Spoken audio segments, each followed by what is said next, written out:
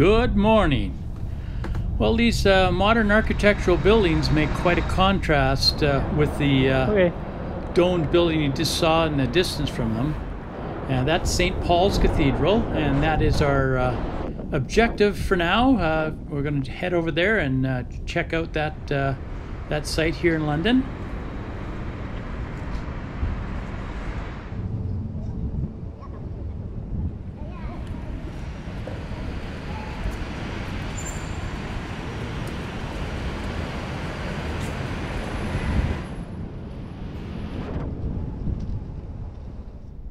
As you can see, it's rather uh, a little bit damp, uh, cooler, and a little bit breezy to, today. So it'll be kind of nice to uh, get inside St. Paul's to uh, check it out. A little, little protection from the weather.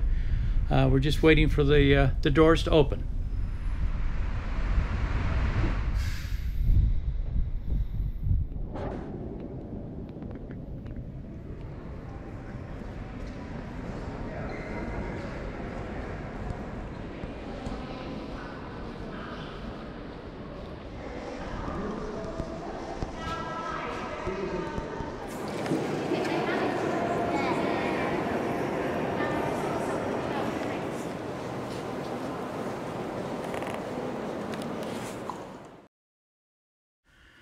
These tile mosaics are really quite stunning. Uh, the detail in them is is quite amazing.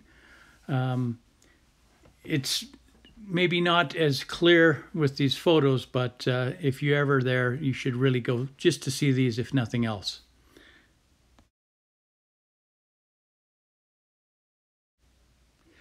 Unfortunately, a couple different parts of St. Paul's are closed to the public right now. Uh, one of them is access to the dome, and the other one is the Whispering Gallery. Uh, I had the experience of going to the Whispering Gallery uh, many, many years ago, and it's really, really cool. But if you get there, um, check it out, see if you can still get there at that point.